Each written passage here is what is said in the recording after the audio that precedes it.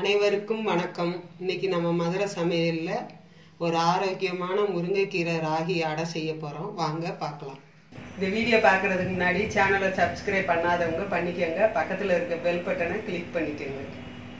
இப்போ முருங்கைக்கீரை ராகி மாவு அடை செய்கிறதுக்கு ஃபஸ்ட்டு வந்து முருங்கைக்கீரையை ஒரு கைப்பிடி அளவு எடுத்து நல்லா அலசிட்டு நல்லா புழிஞ்சு ஒட்டை புழிஞ்சு இது மாதிரி எடுத்து வச்சுக்கோங்க. எடுத்து வச்சுக்கிட்டு ஒரு கப்பு மாவு எடுத்துக்கோங்க. இது வெங்காயம் பச்சை மிளகாய் எல்லாம் போட்டு ஃபஸ்ட்டு வதக்கிடலாம். ஃபஸ்ட்டு ஒரு கடாயில் ஒரு ரெண்டு ஸ்பூன் எண்ணெய் ஊற்றி நல்லா சூடாயிடுச்சு இப்போ. சூடானதுக்கப்புறம் ஒரு அரை ஸ்பூன் சீரகம் ஃபஸ்ட்டு வறுத்துக்கோங்க. சீரகம் பொரிஞ்சதுக்கப்புறம் ஒரு ரெண்டு பச்சை மிளகாய் வந்து சின்ன சின்னதாக கட் பண்ணி அது கூட சேர்த்துக்கணும்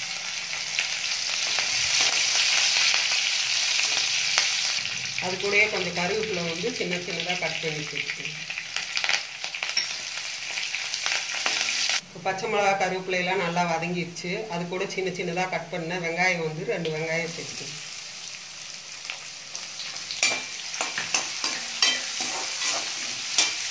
ஒரு கால் ஸ்பூன் உப்பு சேர்த்துங்க சீக்கிரம் வதங்கிடும் வெங்காயம்.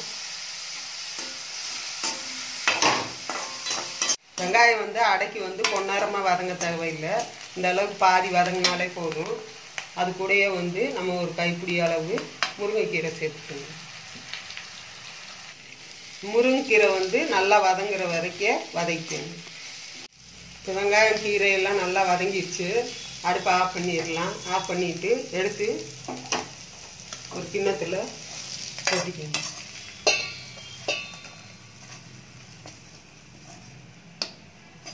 அது கூடயே ஒரு கப்பு ராகி மாவு சேர்த்துக்கோங்க. அது கூடயே உப்பு தேவையான அளவு சேர்த்துக்கோங்க. ஏற்கனவே வெங்காயத்தில் வேறு போட்டிருக்குறோம். அதனால் பார்த்துக்கிட்டு போட்டுக்கோங்க.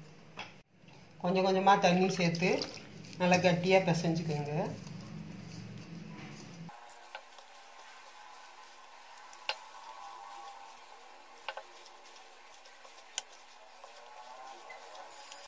இந்த மாதிரி மாவு நல்லா கெட்டியாக பிசைஞ்சுக்கோங்க. அடுத்து அடுப்பு பற்ற வச்சு ஒரு தோசைக்கல்லை வச்சுக்கோங்க. தோசைக்கல்லை வச்சுட்டு தண்ணியில் கையை நனைச்சிக்கோங்க. நனைச்சிட்டு மாவு எடுத்தீங்கன்னா கையில் ஒட்டாது. ஒரு சின்ன உருண்டையாக உருட்டிக்கோங்க. உருட்டிட்டு அப்படியே தோசைக்கல்ல வச்சு தண்ணி தொட்டுட்டு தொட்டுட்டு அழுத்துனீங்கன்னா நல்லா